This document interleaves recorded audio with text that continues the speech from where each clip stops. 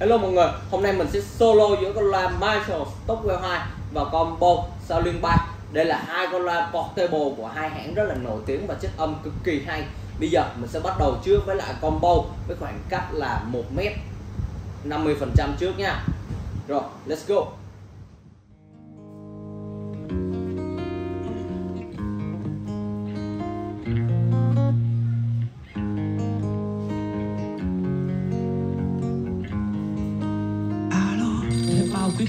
Em à. Không nên là nữa Xin có tấm lòng ở lại Nhớ sau. anh không? Nhớ à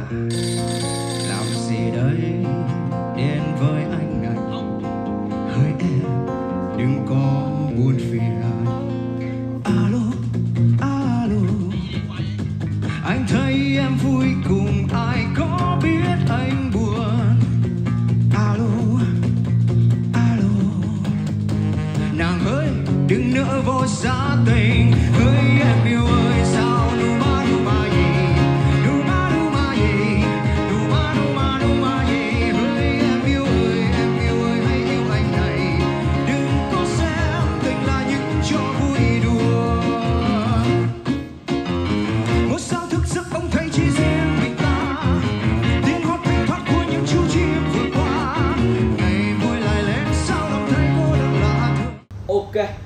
Sẽ tới lượt Stockwell nhé Cùng khoảng cách, vị trí và volume nó luôn.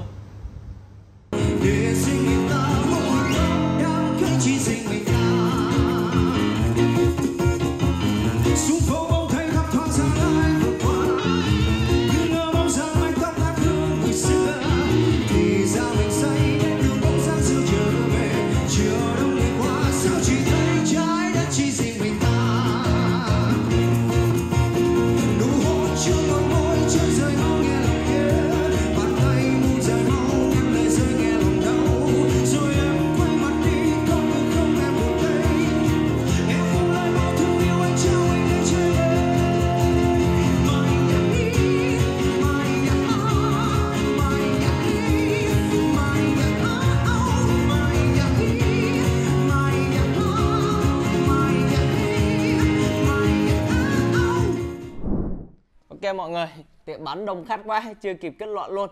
Thì qua cái bài nhạc thứ nhất là một cái bài nhạc mà nhiều vocal cũng có bass. Thì mình thấy là combo này nó nghe nựng tai hơn, làm tốt hơn với lại cái chất âm ấm của nó. Bass thì có những cái nhịp rất là chắc. Còn uh, về phía Stockwell thì cái chất âm mình thấy nó quá bình thường. Trap nhiều, có, có trap nhưng mà quá bình thường, chưa cảm nhận được rõ ràng. Đặc biệt là cái phần âm bass nha. Cái phần âm bass khi mà nếu mà mọi người nghe trực tiếp như mình đây, sẽ cảm nhận được cái độ rung của nó rất là nhiều. Nó vang hơn so với lại combo về cái phần bass là như vậy. Thì đối với mình, qua cái bài thứ nhất thì combo nó thể hiện xuất sắc hơn so với Stockwell 2 và bây giờ sẽ đến với lại cái bài nhạc thứ hai, khoảng cách một mét luôn. Vẫn là indoor nhá mà lần này cái khoảng gian phòng của mình nó sẽ lớn hơn. Mình sẽ nghe ở trong cái phòng này, nó sẽ lớn hơn so với lại cái phòng hồi nãy. Để xem coi là con nào sẽ thể hiện tốt hơn nhé. Ok, bây giờ mình sẽ bắt đầu trước với lại bow và sau đó là tới Marshall.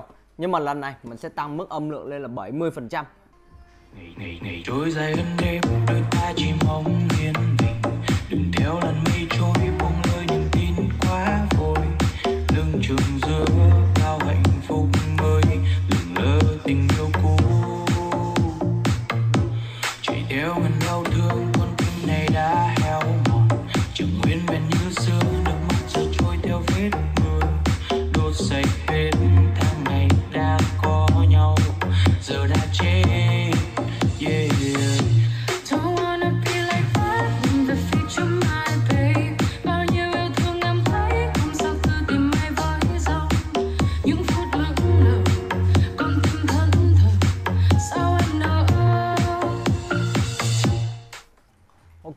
bây giờ là sẽ tới lượt Stockwell 2 nha Ừm.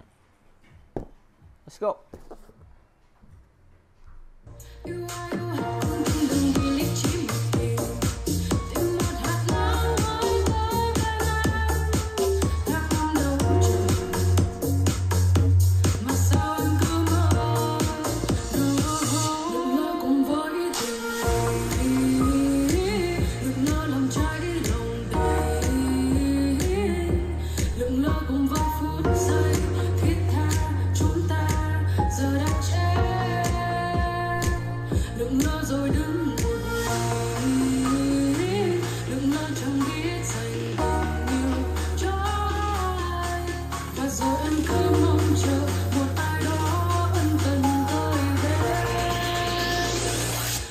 rồi đứng một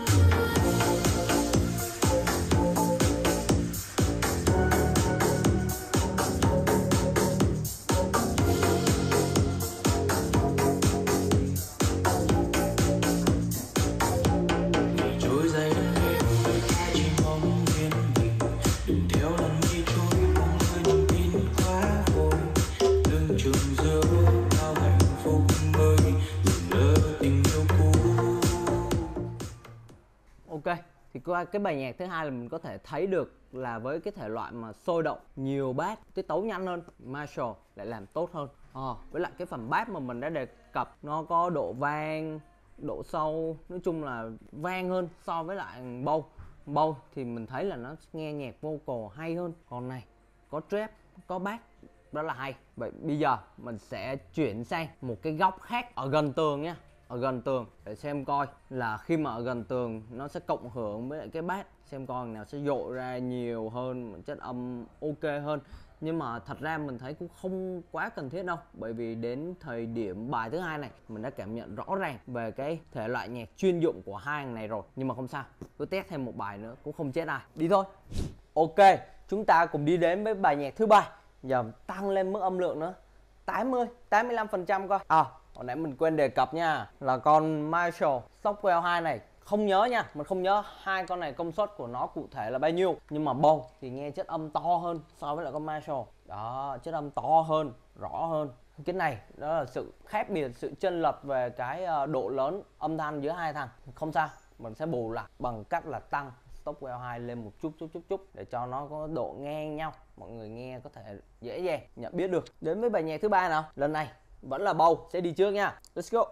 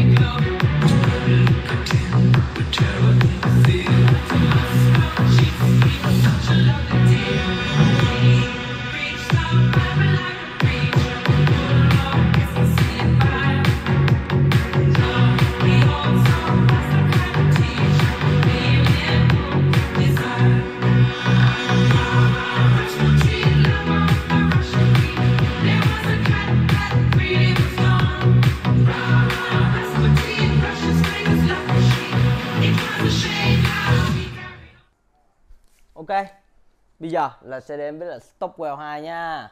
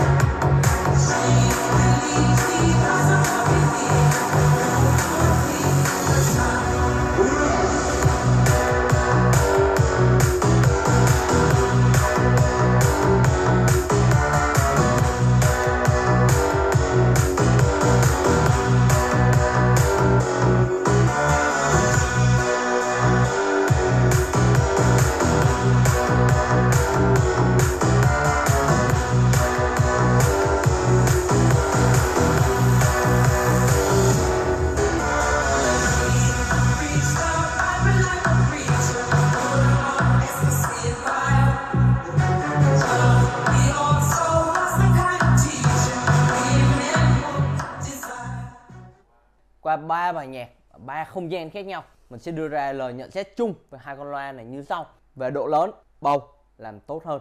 Về trap, bass Stockwell thể hiện rõ ràng hơn, cụ thể hơn. Tuy nhiên, nói về tổng thể thì mình nghe thằng bầu này có cái độ hài hòa, cân bằng hơn, nghe rất là nịnh tai, với lại chất âm trầm ấm của nó. Đó bởi vì vậy nếu như mà để nghe trong nhà nha để trên bàn à, để trên bàn làm việc mình vẫn sẽ chọn Bose còn Stockwell 2 nếu mà đi ra ngoài thì mình sẽ chọn Stockwell 2 với lại cái chất âm của nó thực sự là đã đạt yêu cầu rồi. Với lại cái thiết kế nhỏ gọn như vậy nữa có quai sắt với lại rất là đẹp. Đó là cảm nhận của mình về ba thằng. Còn về chất âm thì mình vẫn sẽ chọn Bose nha mọi người. Ok, thì hôm nay là clip solo giữa Bose Shaolin 3 và Marshall. Stockwell 2 Nếu mà mọi người thấy hay thì hãy like và subscribe nhé.